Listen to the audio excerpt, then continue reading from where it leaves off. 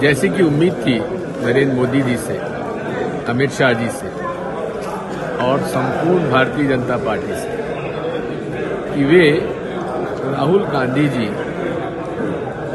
को संसद में अपनी बात कहने का मौका नहीं देंगे। संसद नहीं चलने दी।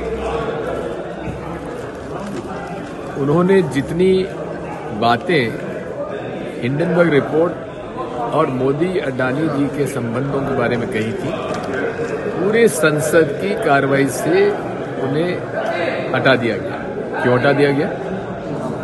किस बात का डर है?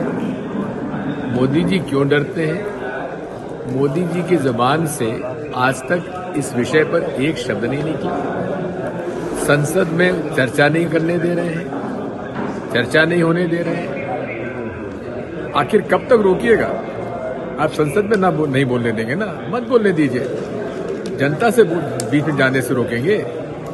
वहाँ भी हम पर केस लगाएँगे वहाँ पर भी हम पर झूठे प्रश्न बनाएँगे। बनाइए। कांग्रेस का एक एक कार्यकर्ता घर घर जाएगा और अपनी बात दृढ़ता से जनता तक पहुंचाएँगे।